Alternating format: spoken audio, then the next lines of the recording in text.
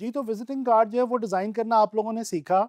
अब हम लोग विज़िटिंग कार्ड के बाद जो एक और स्टेशनरी की बहुत इम्पोर्टेंट आइटम है, वो लेटर हेड है और उसका एनवेलप है, उसके बारे में हम बात करेंगे इस लेसन के अंदर। अच्छा जी, लेटर हेड भी किसी भी कंपनी के लिए उसकी स्टेशनरी का एक बहुत ही लाज़िम मलज़ूम हिस्सा होता है। इसकी एक मिसाल मैं आपको यूँ दूँगा कि जैसे ही आप कहीं पे किसी कंपनी में जॉब लेने जाते हैं और वो कंपनी आपको जॉब ऑफ़र लेटर देती है, तो वो अपने लेटर हेड के ऊपर टाइप करके देगी। इसी तरह से अगर आपको कहीं से एक्सपीरियंस लेटर मिलता है किसी भी कंपनी की तरफ़ से, तो वो भी उस कंपनी के लेटर हेड के ऊपर होगा। इसके अलावा दीगर बिज़नेस डील्स वगैरह के हवाले से भी अगर हम देखें, तो जब भी कोई कंपनी कोई भी बिज़नेस डील करती है या कोई प्रोफ़ेशनली डॉक्यूमेंटेशन करती है अ, तो वो जो है अपने लेटर हेड के ऊपर उसको अम, उसके लेटर हेड का जो है वो इस्तेमाल करते हैं ये सारी डॉक्यूमेंटेशन के लिए तो इस लिहाज से लेटर हेड भी बहुत इंपॉर्टेंट चीज़ है। लेटर हेड और उसका एनवेलप जो है वो हम डिज़ाइन करेंगे इस लेसन के अंदर। तो चले चलते हैं और मैं आपको बताता हूँ कि हम लेटर हेड और एनवेलप किस तरह से डिज़ाइन कर सकते हैं। अच्छा जी, यहाँ पे अगर आप लोग देखें मैंने एक आर्ट बोर्ड जो है वो लिया हुआ है और ये आर्ट बोर्ड मैंने लिया हुआ है एक स्पेसिफिक साइज़ का। मैं यहाँ पे एक रेक्टेंगल जो है वो ड्रॉ करता हूँ और यहाँ पे देखें विड्थ आ रही है 8.5 और हाइट आ रही है 11 और यही स्टैंडर्ड साइज़ है लेटर हेड का। लेटर हेड जो है वो 8.5 इंचेस वाइड होता है और उसकी जो हाइट होती है वो 11 इंचेस होती है।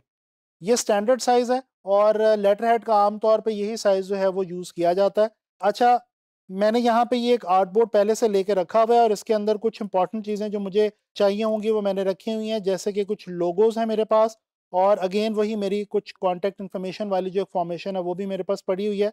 फ़िलहाल अब मैं इन चीज़ों को जो है वो साइड पे करता हूँ और हम अपना जो है एनवेलप डिज़ाइन करते हैं। अच्छा जी, यहाँ पे मेरे पास जो है पड़ा हुआ है लोगो पीएसएल का और अभी फ़िलहाल जो है मैं लेटर हेड के ऊपर काम कर रहा हूँ। ये जब मैं कंप्लीट कर लूँगा तो मैं आपको फिर एनवेलप जो है उसके हवाले से भी जो है यहाँ पे डिज़ाइन बना के दिखाऊँगा और वो इसी में से बेसिकली हम जब लेटर हेड डिज़ाइन कर लेते हैं तो उसी में से हमारे एनवेलप का जो डिज़ाइन है वो भी निकल आता है।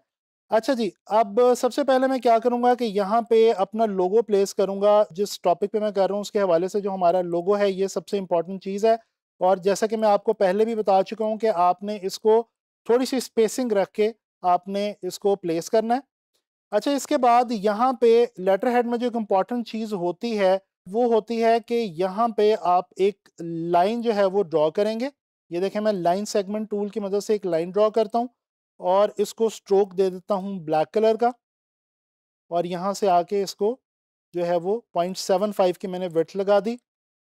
अच्छा जी, इसको मैं थोड़ा-सा ज़्यादा वाइट कर लेता हूँ।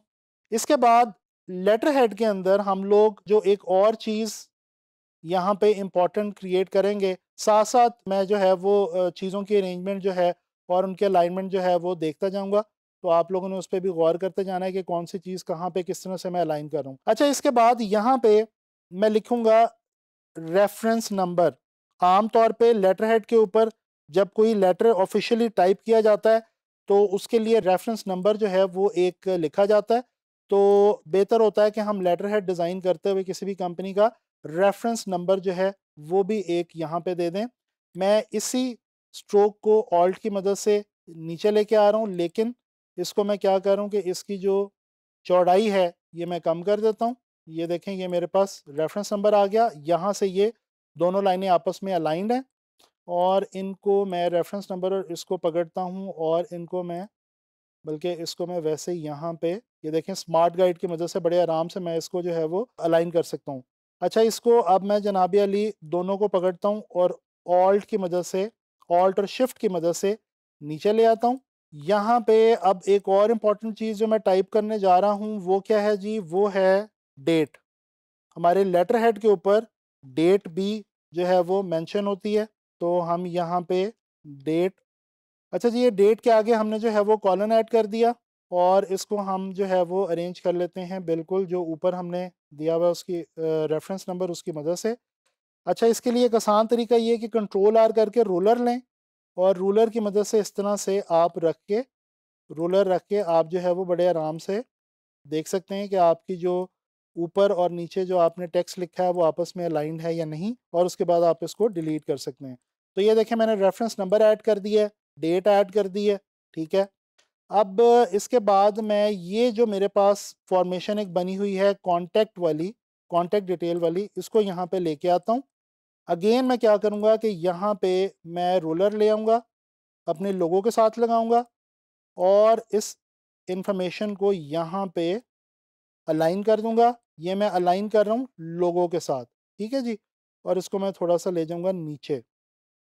बिल्कुल नीचे नहीं लगाना, आपने याद रखें, मैंने पहले भी बताया, बिल्कुल नीचे कभी भी मत लगाएँ। हमेशा थोड़ी सी स्पेस जो है वो नीचे से, ऊपर से, साइडों से हमेशा दिया करें अपने डिज़ाइन में, अपनी लेआउट्स में, चाहे आप स्टेशनरी बना रहे हैं, चाहे आप कुछ भी चीज़ कर रहे हैं। ख़ास तौर पे स्टेशनरी में ये बहुत इंपॉर्टेंट बात है कि आप थोड़ी सी स्पेसिंग रखें। ठीक है जी? और इसी तरह से ये देखें रूलर की मदद से हम अपने ये जो लोगोज हैं, इनकी प्लेसमेंट जो है ये भी फाइनलाइज कर लेते हैं।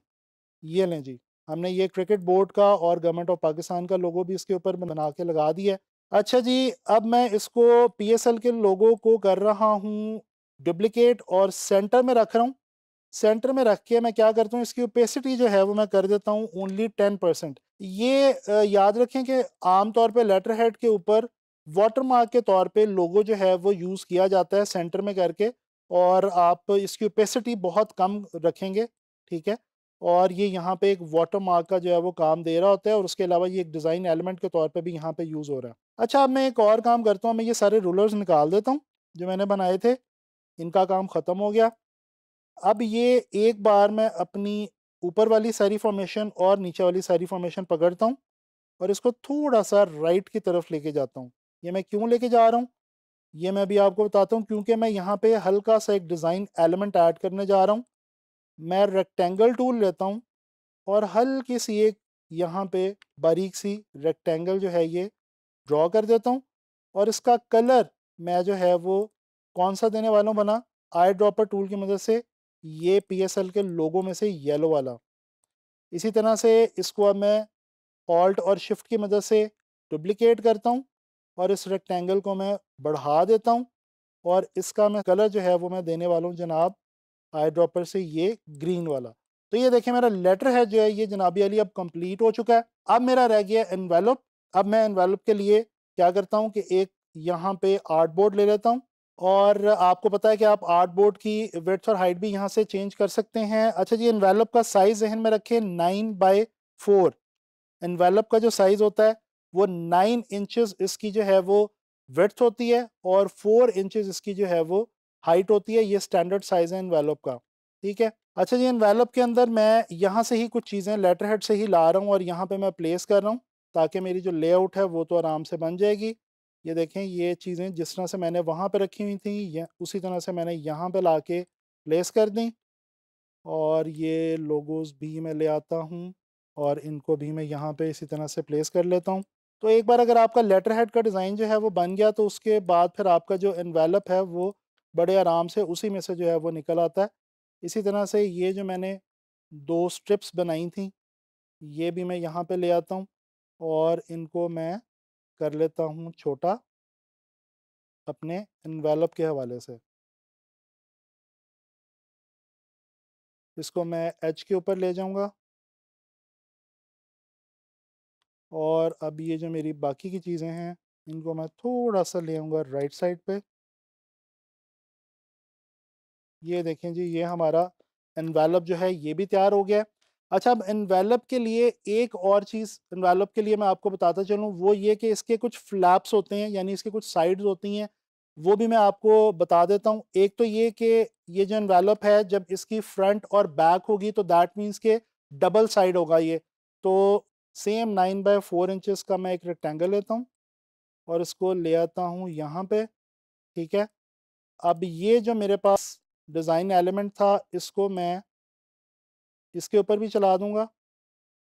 ठीक है जी? तो ये देखें, ये इसकी, बेसिकली ये इसकी बैक बन गई और ये अब इसका जो है वो फ्रंट और बैक जो है वो हमारा इसका जो है वो डिज़ाइन होने लगा। अच्छा इसके साथ इसकी जो फ्लैप्स होती हैं, वो मैं आपको बता देता हूँ जी, यहाँ पे आप एक रेक्टेंगल लें। सेम हाइट, सिर्फ़ आप इसकी विथ जो है, वो आप चेंज कर देंगे, वो आप कर देंगे जी पॉइंट फाइव इंचज़ और इसको वाइट कलर दे देंगे। इस तरह से। इसको मैं अटैच कर देता हूँ इसके साथ। इसी तरह से इसी को डुप्लिकेट कर लेता हूँ ऑल्ट और शिफ्ट की मदद से और यहाँ पे ला के रख लेता हूँ। ठीक है जी? अच्छा अब मैं क्या करूँगा कि डायरेक्ट सिलेक्शन टूल लूँगा। इन दोनों के जो कॉर्नर वाले जो एंकर पॉइंट्स हैं, इनको पकड़ूँगा और यहाँ से अंदर की तरफ़ इनको फोल्ड कर दूँगा तो ये देखें मेरे फ्लैप जो है वो बन गई है। ठीक है जी? अब मेरा रह गया सिर्फ़ ऊपर वाला फ्लैप। तो ये मैं लूँगा जनाबी अली, सेम ये जो मेरा मेन पेज है, इसका मैं विथ लूँगा और इसकी जो हाइट लूँगा विथ विथ इसकी सेम होगी नाइन और हाइट इसकी होगी जी वन पॉइंट थ्री इंचज़ ये भी एक स्टैंडर्ड है, जो कि हम फॉलो करते हैं इन्वेलप के लिए। अब अगेन वही वाला काम करेंगे डायरेक्ट सिलेक्शन टूल पे आएँगे, ये वाला कॉर्नर पकड़ेंगे, ये वाला कॉर्नर पकड़ेंगे और इनको अंदर की तरफ़ कर देंगे। ये देखें जी, ये पूरी हमारी जो डमी है वो तैयार हो गई है इन्वेलप की भी। तो this is our letter head and envelope और इस तरह से हम ये दोनों चीज़ें जो है वो डिज़ाइन कर सकते हैं। जी तो आप लोगों ने देखा कि इस लेसन में हम लोगों ने लेटर हेड और इन्वेलप जो है वो डिज़ाइन किया पीएसएल का और मैं उम्मीद करता हूँ कि आप लोगों को ये पसंद आया होगा। अब आप लोगों ने इसी को जहन में रखते हुए इसी तरह से जो स्टैंडर्ड साइजेस वगैरह मैंने आपको बताए हैं, इनको माइंड में रखते हुए प्रैक्टिस करें। और मैं उम्मीद करता हूँ, जब भी आपको लेटर हेड या या इन्वेलप के लिहाज से कोई भी असाइनमेंट मिलेगी तो आप इनशाला बहुत अच्छा डिज़ाइनर बना सकेंगे। नेक्स्ट लेसन में हम लोग डिस्कस करेंगे स्टेशनरी के हवाले से कोई और मज़े की चीज़।